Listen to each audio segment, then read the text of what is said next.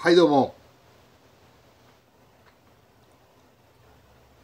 YouTube をやるきっかけになったのはなぜなのかということで。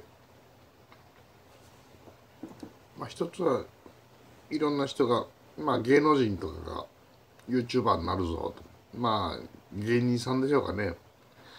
でロンドンブーツの田村淳さんがみんな持った方がいいという自分の意見を人に編集されて自分の言いたかったことを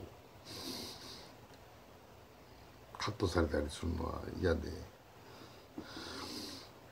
自分の言いたいことをちゃんと言いたいということで自分のチャンネルを持つとみんな持った方がいいという、まあ、そういうこととかまあうん。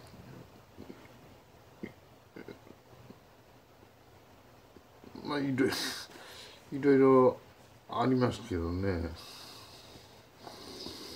うん。ユーチュ有名な YouTuber ヒカキンさんとかテレビに出だしたりとか。YouTube やってる人がいっぱいいるんだなというのがあって僕はそんなに YouTube 見ないんですけどもあと2チャンネルを創設したひろゆきさんですかあと堀江門堀江貴文さん堀江門こと堀江貴文さんなんかがうん出ているのを聞いたりするわけですけど。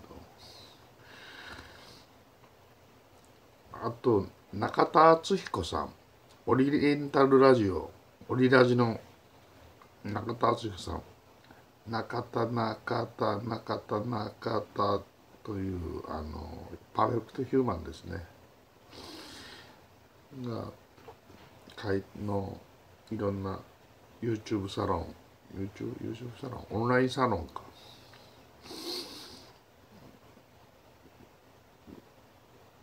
とかで。もうもう今年 5G になる。2020年 5G になる。そうなるといろんなことが、まあ、何が起こるかがわからないぐらいいろんなことが起こるという。IoT だとかロボティクスだとか。まあそういうのを見てて。ああまあ自分でこれテレビ局のようなことになってるなということがあって。やってます。まあ私の場合